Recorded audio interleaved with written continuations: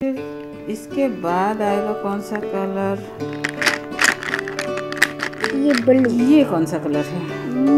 Pink colour. Pink. हाँ अब pink colour का कुछ सेलेक्ट करते हैं हम। ठीक है? अब इसके बाद कौन सा कलर आएगा? Purple colour. Purple purple colour की बात करेंगे ये पर्पल कलर का क्या होता है?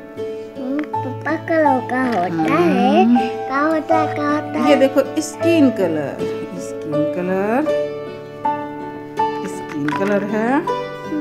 अब इससे कुछ सेलेक्ट कर लेंगे। इसके बाद फिर आएगा ये देखो ये आएगा ऑरेंज कलर ठीक है? मम्मी इसके लग दो इसके पर लग दो। हाँ हाँ ये ऑरेंज कलर है ठीक है? कौन? ये जो अभी है ये ऑरेंज कलर है। और फिर इसके बाद क्या आएगा? येलो कलर ये देखिए येलो कलर है। ये फिर कच्चे निकले हाँ फिर रख देंगे। फिर येलो कलर के बाद हम ले लेते हैं कौन सा कलर स्काई ब्लू ठीक है?